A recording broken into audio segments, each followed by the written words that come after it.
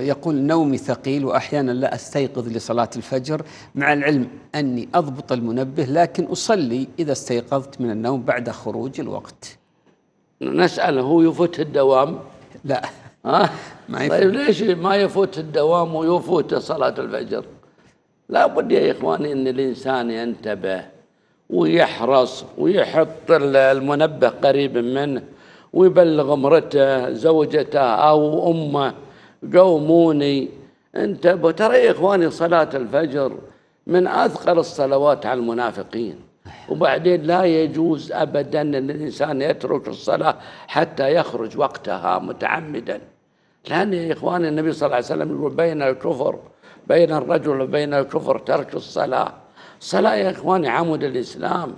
الصلاة أفضل الأعمال النبي صلى الله عليه وسلم يقول استقيموا استقيموا ولن تحصوا واعلموا أن خير أعمالكم الصلاة. نعم.